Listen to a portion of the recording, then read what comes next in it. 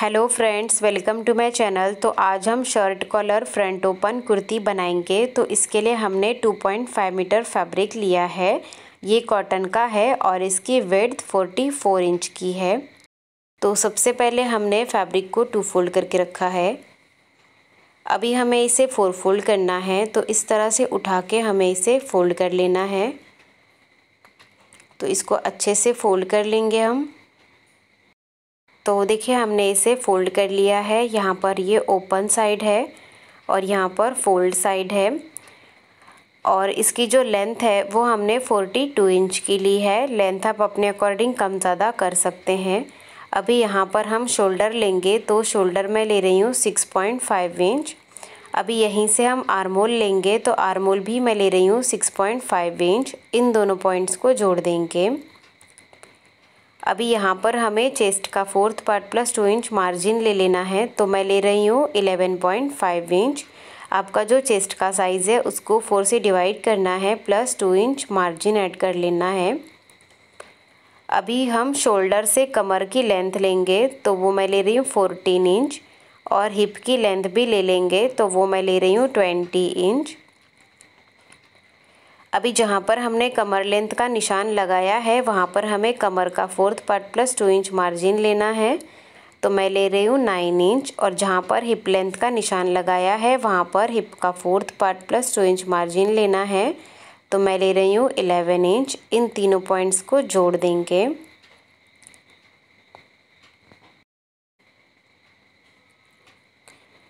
अभी हम आरमोल ड्रॉ कर लेंगे। तो इस लाइन का हमें हाफ़ लेना है। और यहाँ से हम आरमोल का शेप देंगे। ये हमारा बैक का आरमोल है। और हाफ़ इंच अंदर से एक और आरमोल ड्रॉ कर लेंगे। ये हमारा फ्रंट का आरमोल है। अभी नेक की मार्किंग करेंगे तो यहाँ पर हम शर्ट कॉलर बनाएँगे। तो नेक वेड्थ मैं ले रही हूँ थ्री इंच और नेक डीप में ले रही हूँ थ्री इंच फ्रंट के लिए। और बैक के लिए हमें लेना है सिर्फ़ वन इंच उसके बाद यहाँ से हम राउंड शेप दे देंगे फ्रंट नेक के लिए। और बैक नेक के लिए भी हल्का सा राउंड शेप दे देंगे। अभी यहाँ पर ये जो पॉइंट है हिप का, इसे हम क्रॉस में एक्सटेंड कर देंगे। तो ये हमारी ए लाइन कुर्ती है, इसके लिए हम इसको इस तरह से ए लाइन शेप में ड्रॉ कर लेंगे। अभी यहाँ पर हम थ्री इंच ऊपर मार्क करेंगे और राउंड शेप दे देंगे तो जिससे हमारे साइड से कोने नहीं निकलेंगे।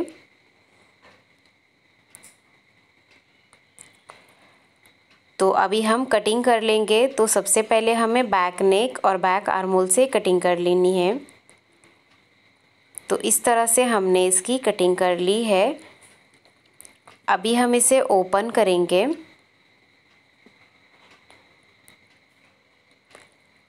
और इसमें से हम बैक पार्ट को साइड में रख लेंगे। और फ्रंट पार्ट को फिर से फोल्ड कर लेंगे। और उसके बाद हम फ्रंट नेक और फ्रंट आर्मोल की कटिंग करेंगे। तो हमने फ्रंट नेक और फ्रंट आर्मोल की कटिंग कर ली है। अभी फ्रंट पार्ट को हम सेंटर से कट कर लेंगे।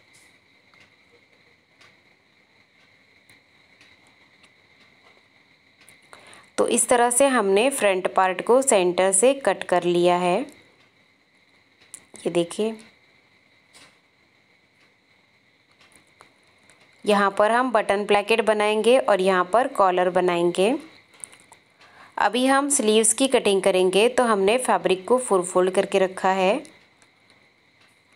ये देखिए यहाँ पर ओपन साइड है और यहाँ पर फोल्ड साइड है। और ये फोर फोल्ड हमने लिया है नाइन पॉइंट फाइव इंच का। जितना आपका आर्मोल है, उससे तीन इंच ज़्यादा लेना है। और स्लीव्स की लेंथ हमने ली है इलेवन इंच। लेंथ आप अपने अकॉर्डिंग कम ज़्यादा कर सकते हैं। अभी यहाँ ओपन साइड से थ्री इंच पर मार्क करेंगे और यहाँ से हम स्लीव्स का शेप दे देंगे। अभी यहाँ पर स्लीव्स बॉटम लेंगे तो वो मैं ले रही हूँ सिक्स पॉइंट फाइव इंच। इन दोनों पॉइंट्स को जोड़ देंगे।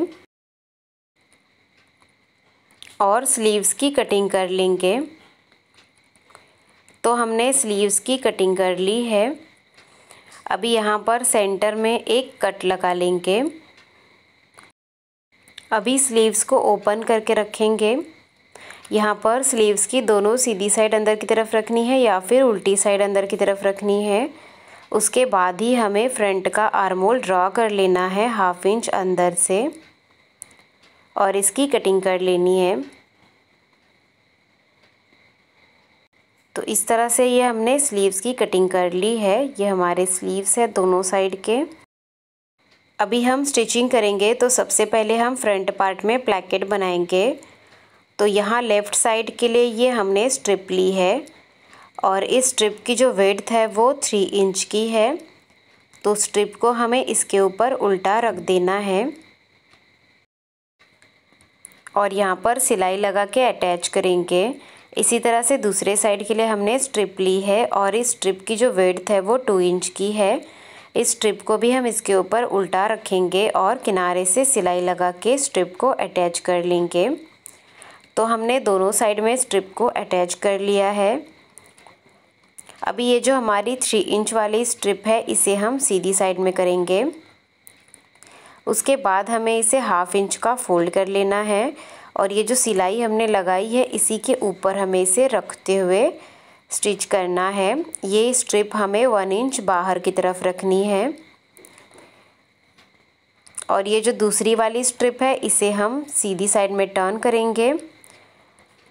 और सबसे पहले हाफ़ इंच का फोल्ड करना है और इस स्ट्रिप को हमें पूरा ही अंदर की तरफ़ फोल्ड कर देना है। तो देखिए, इस तरह से हमने दोनों साइड की स्ट्रिप को फोल्ड कर लिया है। अभी जो वन इंच बाहर की तरफ़ स्ट्रिप है, इसके ऊपर हमें दूसरा वाला पार्ट ओवरलैप कर लेना है। तो ये हमारा बटन ब्लैकेट बन गया है। अभी हम बैक का पार्ट इसके ऊपर उल्टा रखेंगे और शोल्डर्स अटैच कर लेंगे। तो हमने शोल्डर्स को अटैच कर लिया है। अभी हम कॉलर बनाने के लिए नेक का मेज़रमेंट ले लेंगे। तो यहाँ पर जो हमारा प्लैकेट है दोनों साइड में, उसको हमें मेजर नहीं करना है, उसके बाहर से ही हम मेज़रमेंट ले लेंगे। तो इस तरह से हमें इसे मेजर कर लेना है।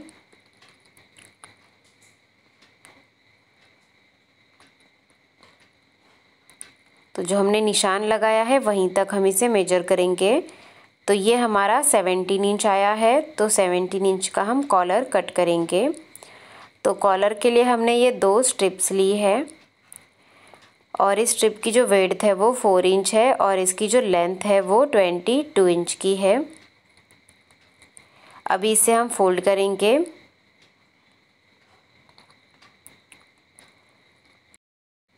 तो हमने जो नेक का मेज़रमेंट लिया था, वो टोटल सेवेंटीन इंच आया था।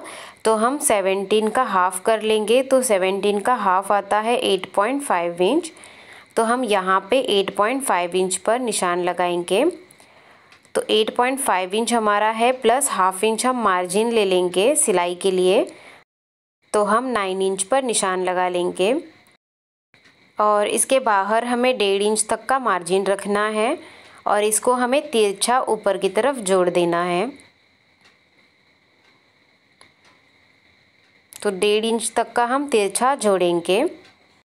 तो ये वाली जो साइड है, ये हमारी कुर्ती में अटैच होगी।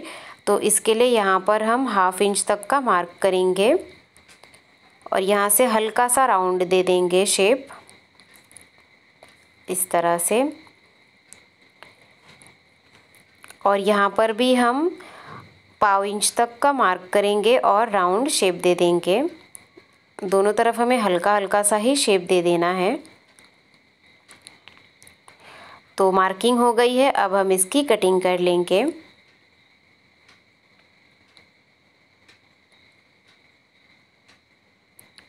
तो इस तरह से ये हमने कॉलर की कटिंग कर ली है। अभी इसको हम ओपन करेंगे।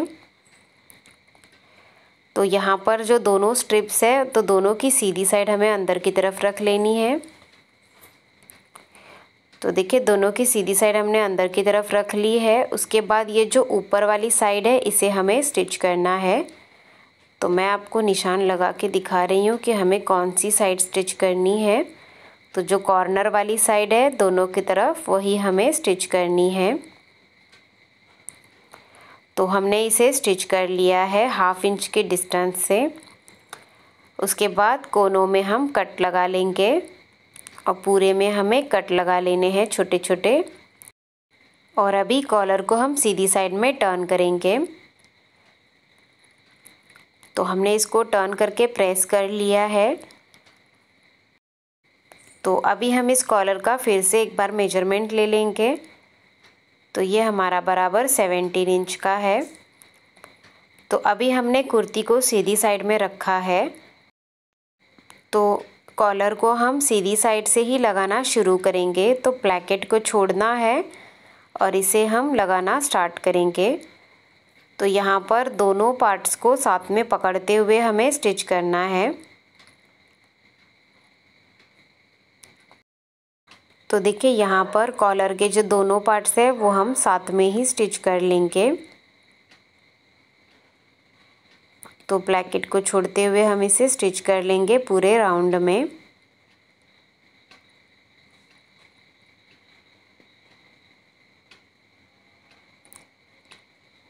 तो ये हमारा कॉलर बराबर आ गया है एंड तक। तो देखिए, इस तरह से स्टिच कर लिया है हमने। और यहाँ पर जो हमारे रॉ एजेस है तो इसके लिए हम एक स्ट्रिप लेंगे। और इस स्ट्रिप की जो वेड्थ है वो थ्री इंच की है। तो स्ट्रिप को हम इस तरह से फोल्ड कर लेंगे।